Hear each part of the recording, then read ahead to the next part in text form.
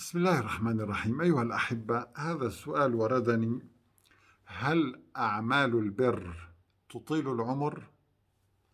مع أن الأجل مكتوب ومحدد كيف يكون ذلك؟ نقول أيها الأحبة كل إنسان كتب أجله وهو جنين في بطن أمه في مرحلة المضغة يعني عمره بحدود 42 يوما ستة أسابيع الأجل إذا محدد ولكن هذا الأجل له تفاصيل.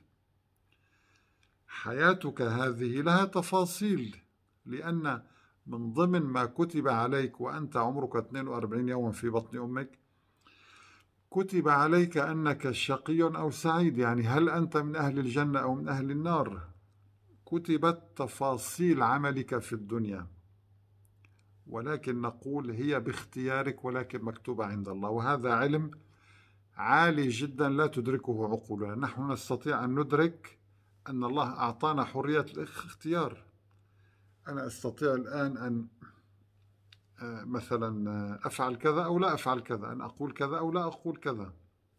مخير كل إنسان كذلك. أما العلم العالي هذا أو اللي هو يتجاوز حدود عقولنا هذا العلم آه، علم الغيب اختص الله به نفسه. سبحانه وتعالى.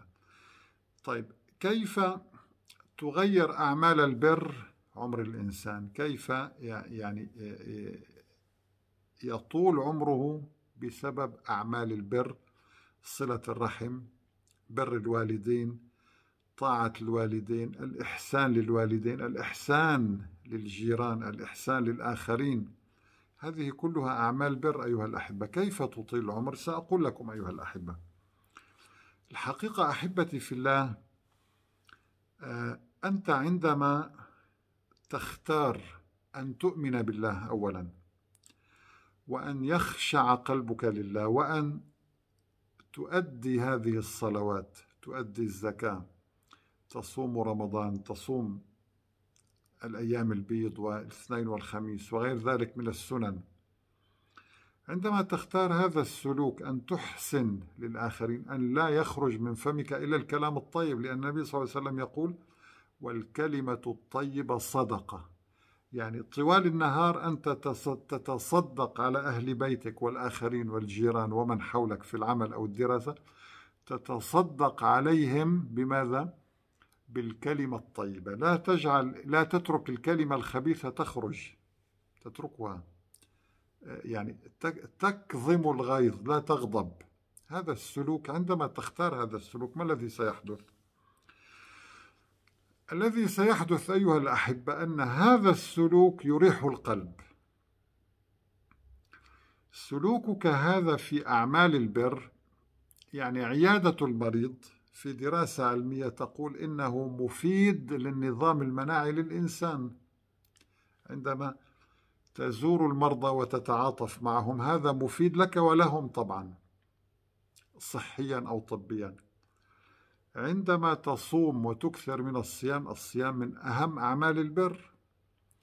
هذا الصيام يؤدي إلى صيانة يعني مثل الصيانة للجسد مثل عندك سيارة وتقوم بصيانة دورية لها.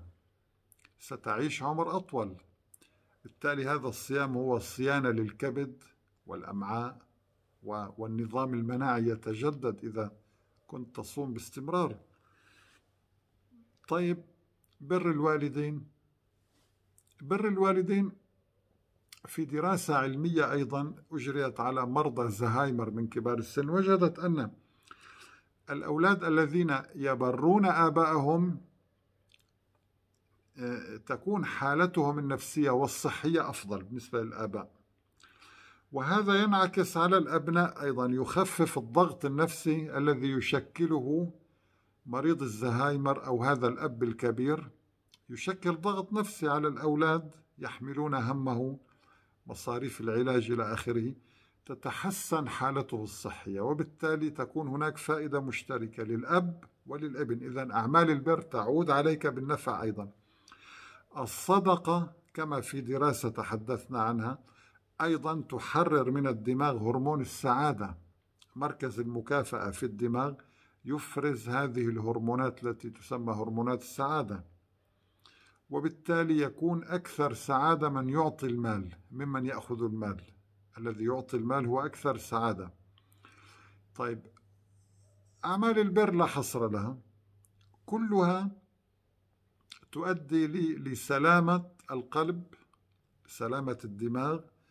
الأوعية الدموية تعمل بشكل أفضل النظام المناعي يعمل بشكل أفضل بسبب الصيام المتكرر وبسبب عدم الغضب لأن الغضب أيها الأحبة أكبر مدمر للقلب هو الغضب والانفعال. عندما تكون هادئا لا تغضب إلا يعني إلا لله طبعا لا تنفعل على أحد.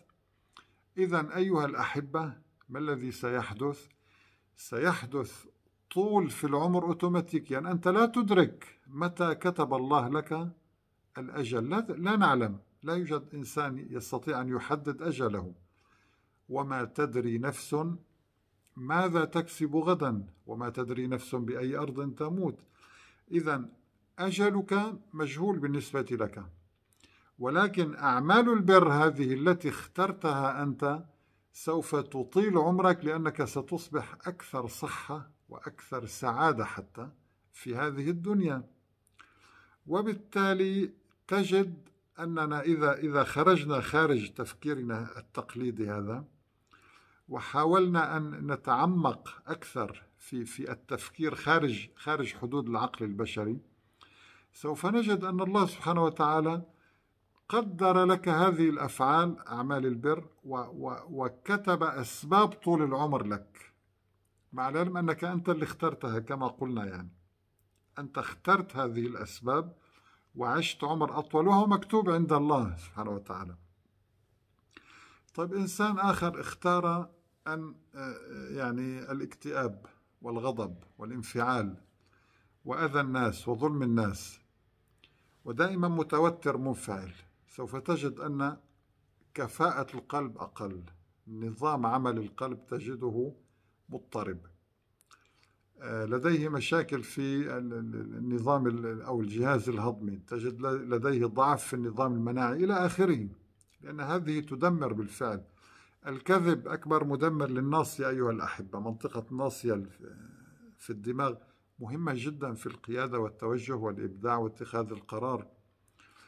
كل هذه العوامل تجعل حالتك الصحية ضعيفة وبالتالي تعيش عمرا أقل. ولكن إذا نظرت أو حاولنا أن نفكر خارج العقل البشري خارج المنطق الذي نتعامل به نجد أيضا أن الله كتب هذا الأمر عليك لأنك, لأنك أصلا قلبك غير متعلق بالله.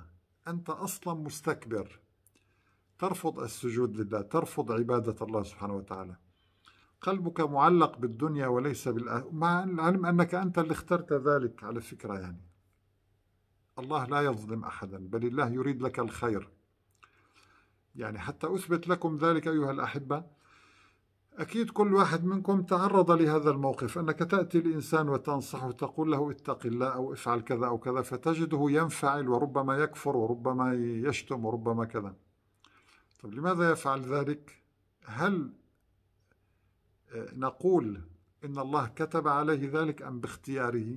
باختياره هو لأن الله تعالى يقول ولو علم الله فيهم خيرا لأسمعهم لأن نفسه خبيثة هذه النفس خبيثة غير طيبة لذلك أيها الأحبة خلاصة هذا اللقاء أن أعمال البر تطيل العمر تعطيك سعادة نفسية صحة جسدية أفضل وتشعر بطمأنينة أكثر في هذه الدنيا. والله تبارك وتعالى يقول وما كان لنفس أن تموت إلا بإذن الله كتابا مؤجلا. ينبغي أن تعتقد بذلك أيها الأحبة. ومن يرد ثواب الدنيا نؤته منها ومن يرد ثواب الآخرة نؤته منها. وسنجزي الشاكرين. نسأل الله سبحانه وتعالى أن يجعلنا من عباده الشاكرين. والسلام عليكم ورحمة الله تعالى وبركاته.